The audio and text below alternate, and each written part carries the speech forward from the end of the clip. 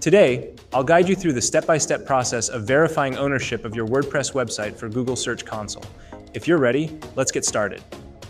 Go to the Google Search Console homepage and click Start Now. Sign into your account. In your Google Search Console dashboard, click on the three dots menu. Click on the drop-down menu.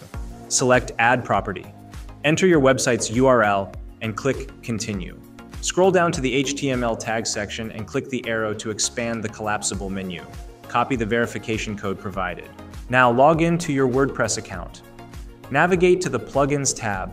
Click on Add New Plugin. In the search bar, type Insert Headers and Footers.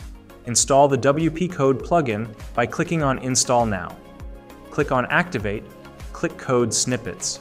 Select Header and Footer. Paste the copied verification code into the header field and click Save Changes. Return to Google Search Console and click Verify. Be patient. The verification process may take up to six hours to work correctly. Once it's verified, click Done. If everything is set up correctly, your website will be successfully verified. Feel free to reach out if you encounter any issues during the process. Please comment below with your opinion, and don't forget to like and subscribe to my channel for more tutorials to boost your online knowledge. If you need further assistance with your website, consider hiring a professional using the link in this video below.